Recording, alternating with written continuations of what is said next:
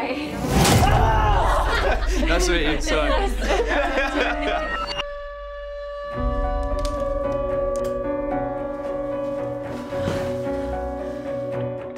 two in the big student house. No one's been studying. This butter sucks. Yes, it does. And the only room that's seen any action is. Oh, get out. Oh my day. I heard something bad happened here. People.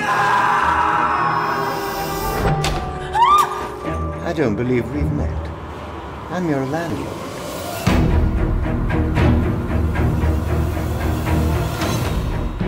Does he ever leave that room?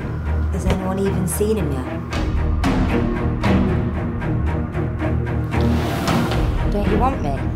My head is pounding. I'm getting these headaches. Do you want me to call your mum so she can do that for you? Shut up! Never your fault, is it, with you students? Why can't I get anything done in this place? This house either needs an exorcism or some fun.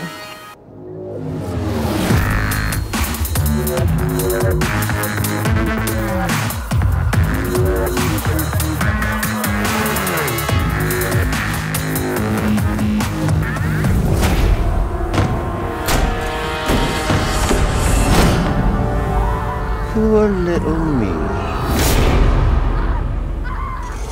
That's what the last lot said. Help me!